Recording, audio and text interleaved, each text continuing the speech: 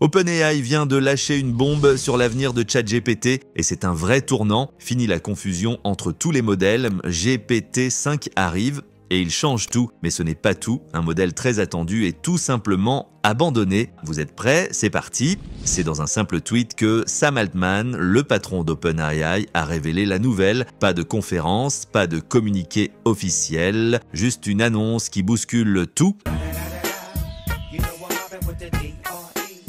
Aujourd'hui, ChatGPT, c'est un vrai labyrinthe avec GPT-4, GPT-4o, les versions mini, O1, O3, bref, un casse-tête. OpenAI veut simplifier ça avec deux nouveaux modèles, euh, GPT 4.5 et GPT 5. OpenAI décrit GPT 4.5 comme le dernier modèle sans raisonnement avancé. Il devrait arriver dans les prochaines semaines et marquer la fin d'une époque. Son nom de code Orion circulait depuis des mois et maintenant c'est officiel. GPT 5 sera le cerveau central de ChatGPT. Il choisira automatiquement la meilleure méthode pour répondre. Mode recherche, raisonnement avancé, tout sera géré par lui. La vraie surprise, il sera accessible gratuitement. Mais les abonnés plus et pro auront des versions encore plus puissantes. Pour vous donner une idée, GPT-4o est déjà impressionnant, mais il ne sait pas toujours quand utiliser la recherche ou un raisonnement avancé. GPT-5, lui, le fera automatiquement sans intervention de l'utilisateur.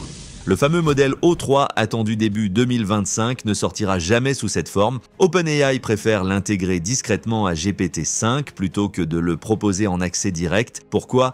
Probablement une question de coût. Chaque requête envoyée à O3 coûte trop cher, donc GPT-5 choisira lui-même quand l'utiliser pour optimiser les ressources. Mais pourquoi Sam Altman a-t-il décidé de tout révéler maintenant? Simple coût marketing Ou alors est-ce lié à Elon Musk? On sait qu'Elon Musk critique OpenAI depuis des mois et rêve même de racheter l'entreprise. OpenAI aurait-il décidé de jouer la carte de la transparence pour calmer le jeu? C'est une hypothèse crédible, mais une chose est sûre, GPT-5 arrive et il va tout changer. Et vous, vous en pensez quoi? Est-ce que GPT-5 va vraiment simplifier l'expérience ou est-ce encore un coup marketing d'OpenAI? Dites-moi en commentaire, j'ai hâte de lire vos avis. Si cette vidéo vous a plu, lâchez un like, partagez-la et abonnez-vous pour ne rien rater des actus IA. À très vite pour une nouvelle vidéo. Ciao les amis